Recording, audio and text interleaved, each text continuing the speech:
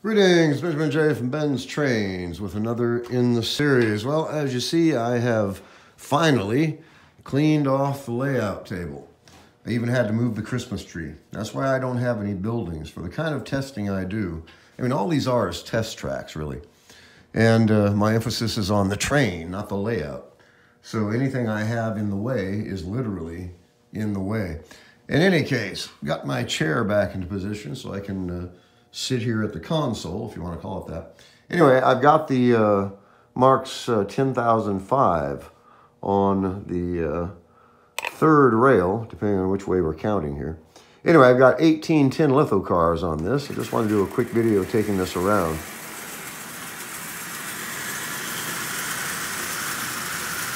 As you see, that 10005 runs really, really well. Now that was a windup when it got here, of course. And it was pretty well beat up, there's no doubt about that. But a bit of judicious tweaking, I put a motor in it, it's actually running really, really well. Fabricated a tab and slot coupler for the back of it. And as you see, this old locomotive is actually running really, really well. So, slowly adding some tin litho cars. I figure I haven't run tin litho for a while. And this uh, locomotive is more than powerful enough that's running right at about 30% power, pulling 18 cars. There's a powerful little motor in that locomotive.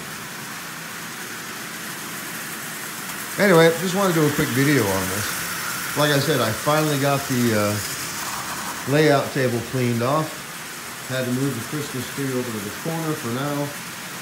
So, just want to do a quick video on the uh, 10005 and the tin litho.